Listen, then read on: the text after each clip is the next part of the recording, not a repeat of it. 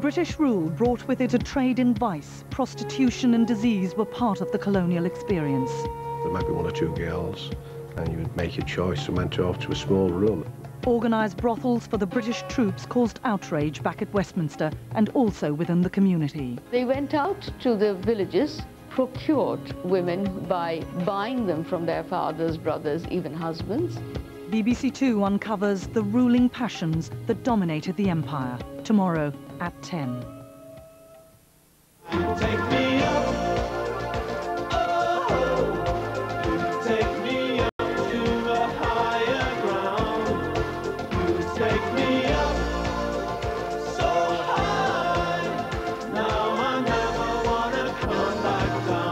Hit the heights with BBC Sport at the World Figure Skating Championships in Birmingham beginning Tuesday 9.30 on BBC Two.